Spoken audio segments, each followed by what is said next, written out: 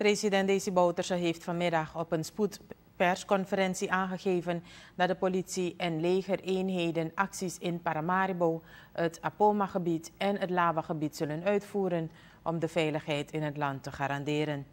Volgens het staatshoofd laat de veiligheidssituatie momenteel veel te wensen over. In het Apoma-gebied is het zo erg dat vrouwen niet naar hun kostgrondjes durven te gaan.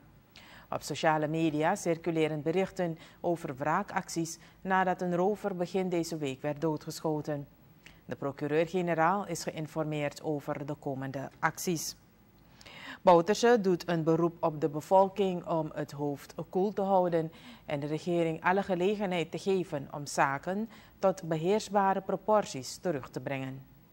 Waarbij men niet schroomt om uh, kerkleiders zelfs te beroven van de tienden die hun aanhangers of hun volgelingen uh, in, het, uh, in, het, zakje doen.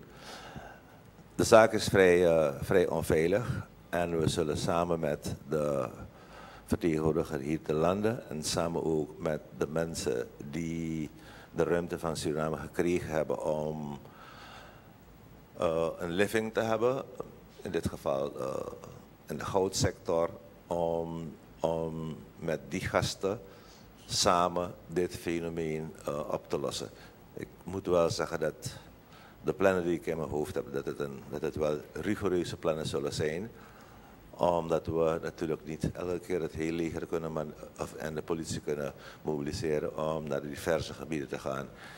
Er is dan nog een gebied waar welke aandacht vraagt.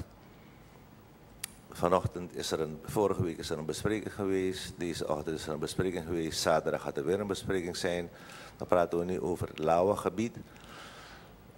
Waar, waar je een hele grote concentratie hebt van uh, garimperos.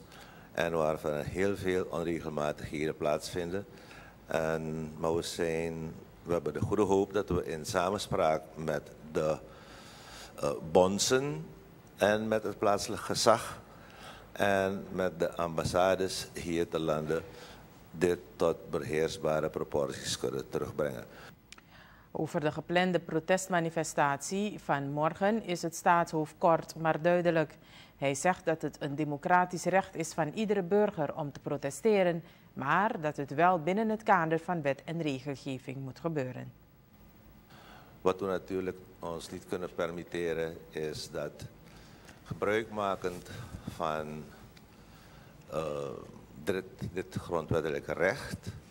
We zien dat er criminelen worden opgeroepen en dat er plannen worden beraamd om subversieve activiteiten te plegen. De politie zou dus heel scherp op dat stuk moeten letten. We willen aan de demonstranten vragen om de zaak echt binnen wet en regelgeving te houden.